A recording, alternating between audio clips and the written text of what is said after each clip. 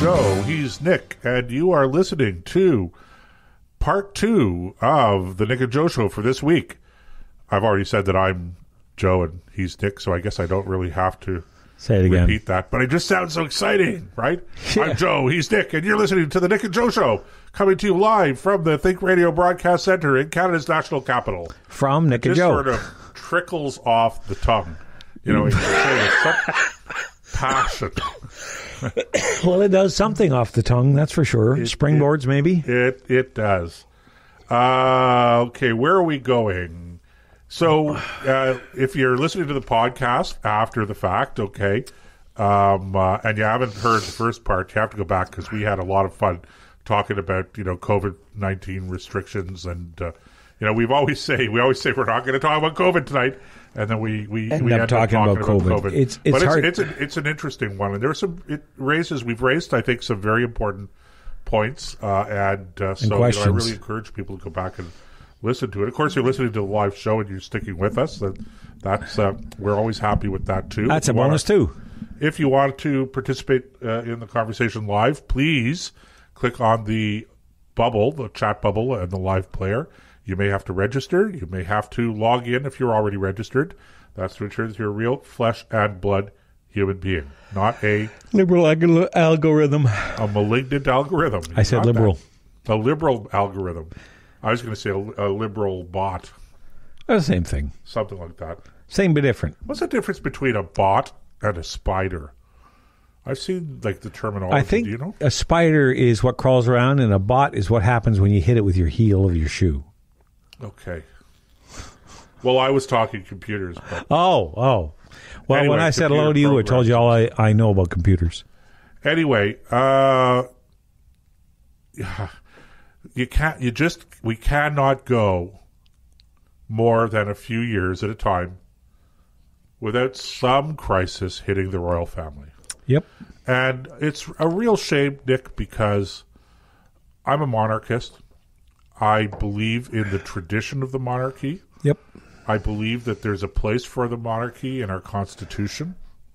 It's, it's not just that I don't want to change the Constitution. I think that they provide a valuable service uh, that, that the Queen does.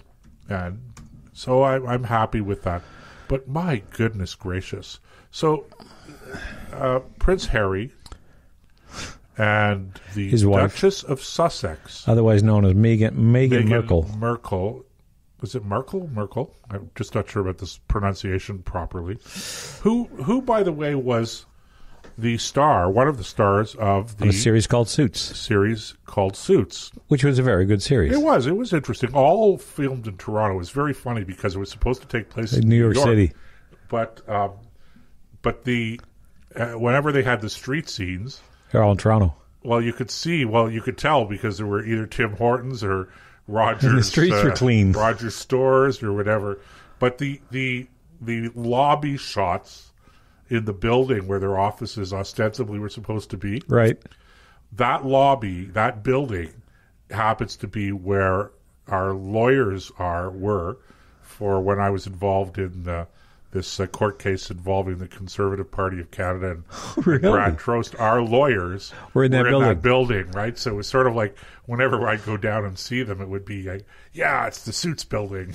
You know, I'm going up to see Harvey or whatever. No. Oh, God. I, I liked. Harvey. I always did. I thought he was a great character. But but all, all joking aside, all joking aside, um, so these guys gave a uh, a, a Interview. a tell tell all revealing interview, and everybody now everybody's exploding about it. Okay, you know everybody's like, well, we have to get rid of the monarchy, and they're terrible people, and my goodness gracious, they they they didn't take.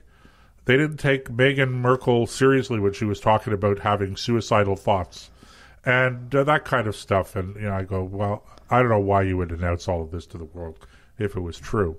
Then they, then she says something to the effect of, "I wasn't going to say anything shocking, but you know, somebody told my husband they were talking about the color of the baby's skin, and uh, now I'm going to shock all of our listeners. So everybody, just easy does it. Everybody who knows me knows I'm not a racist. Okay, but." am I the only person Okay, this is going to get us in big trouble. Am I the only person that you know sense of humor, half jokingly, if I was talking to my brother or whatever, and his w- wife, who happens to be a mixed race, and they're having a baby, am I the only person that maybe impolitely, impolitically might go, gee, just jokingly, gee, I wonder, I wonder what color the baby's skin is going to be. Uh, you know, I could see that question actually being raised in all innocence. I, I, I you know, it's, it, maybe it's insensitive and maybe it's stupid. And in fairness, I probably wouldn't ask it either. I'd go, okay, yeah, N- not because it's wrong, but because I know I'm going to get in trouble. Trouble for it. But I, I just, I don't, I'm not sure that I agree that it was, if that's what was going on. You know, I, I don't, I could see that kind of question being Okay, well, here's why I don't have it. I wouldn't be surprised. Uh, Harry is about as white as it gets. He's got flaming red hair. He's Anglo Saxon to the bone. Meghan has olive skin and looks like there's Mediterranean influence in her background. Maybe. So, of course, you you never know. It's like life is like a box of chocolates. You never know what you're going to get. Not that it changes anything as far as their abilities as parents is concerned. What opportunities the child has, I kind of pity the kid, whatever it is, boy or girl, because you're entering in one of the highest pressure, highest profile pressure cookers on the planet to be part of the British royal family. I mean, Yeah. it's just the kid is in for a life unlike anybody else. But a question like that, first of all, like grow up, don't ask it, or if you do, have a thick skin and say, "Who knows? Who cares?" Well, but you know, part two to my observation on this Yes. is that um, Meghan asks the question or says this, knowing that this is going to. That she's got to know this is going to Sitting in front of a black woman, by the way. This is this is going to be a bombshell. Yeah. Okay. The royal family is racist, even to their own grandchildren. Okay. She's got to know that this is going to be Either that, or she's uh, not uh, she's all lit, that She's bright. lit a fuse to a dynamite keg, yeah, well, and, and then she's but then she refuses to say who, who said it? leaving the whole family totally tainted. That's right. And then after the show, my understanding is, and this is from Oprah herself, Right. Who gave that, the interview? that Harry went to her after the show and said, "Listen, I just want you to know it wasn't my grandmother, Queen Elizabeth, of course. and it wasn't my grandfather." Which would be Prince Philip, and Right. everybody, of course, was automatically assuming it had to be Prince Philip, right? of course. So I don't know who did it. I don't know whether it happened or not. I have no reason to disbelieve it.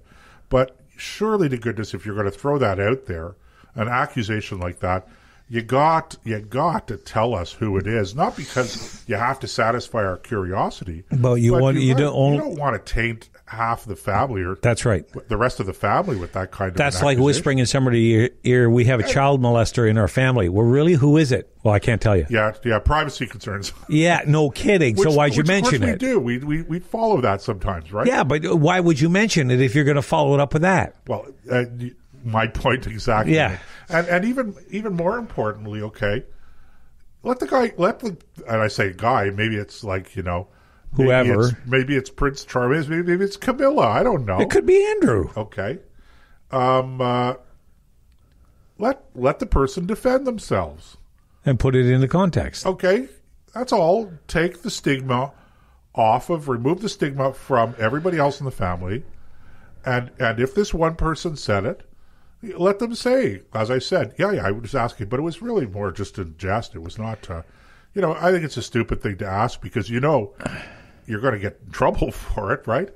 But as I said bef- when we started this conversation, I could see, I could see how something like that could have been asked innocently. Now, all of that to say that every once in a while, when something like this flares up, there's a huge outcry, uh, or at least there seems to be a huge outcry. I don't know anymore whether or not this globalistic, uh, globalistic uh, news media that we have and I think you get my reference, um, can actually tell us what's a huge outcry and what's just spin by the media and or the government. Uh, when this happens, people start asking, well, why do we have the queen in the first place? What's the point of having her as the monarch of our country? Why don't we have uh, something like the United States where we don't have, you know, the prime minister's the head of the uh, chief of defense, or he's the uh, commander in chief? The president. Yeah, the, I'm sorry, yes. But in Canada, it would switch to, if it, we don't have a governor general, it would be uh, the prime minister would take on that role. Why don't we No, just no, have that? does. What's that? Oh, I see. What you're if we get rid of the monarchy. have a monarchy. Right, right. You're right. You're, you're quite right. yeah, sure. But so my attitude is, well, first of all, it's a nod to our heritage. Britain is our founding country. And because of Britain and the way they conducted themselves, they're not angels by any stretch. There's lots of black marks on Britain's history. But if you look at the colonies, wherever Britain went, they're all democracies More for the most part. Uh, the big ones are India, uh, New Zealand, Australia, Canada, the United States, just to name the top four. Okay. And you're talking, you know, almost a billion people in that crowd just by itself enjoy freedom because of the English crown. On top of that, we have property rights through our land grant patents, which I spent two or three years beating the drum on and defying people to show me why that isn't true if our native treaties are true, because they both bear the same seal of authority, the Great Seal of England. Anyway, that's a, a, a rabbit hole we won't go down. No, Nick wants to drag me into that conversation. No, no, I'm I'm simply ending it there. I'm just saying these are part of the reasons Yes. why I think we need to hang on to uh, simply for posterity's sake because it doesn't cost us anything. Look, you don't. Okay, so now I'm gonna. I'm putting on my conservative hat. Okay, you you. History is a continuum. There's a past, there's a present, and there's a future, and uh, you don't. You don't look at the past in the context of today, and say, "Well, we wouldn't if we were designing it today."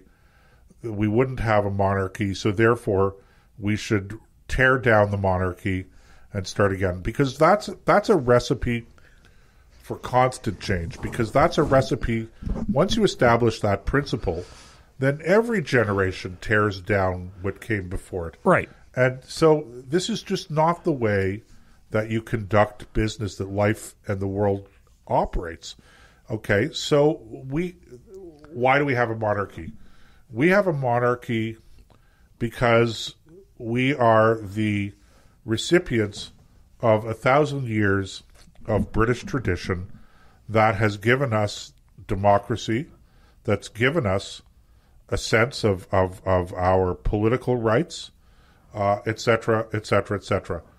And why would we want to go, well, we can keep all of these things, but we're going to throw away The all institution of that the gave it to us. accoutrements that came along with these things. Right.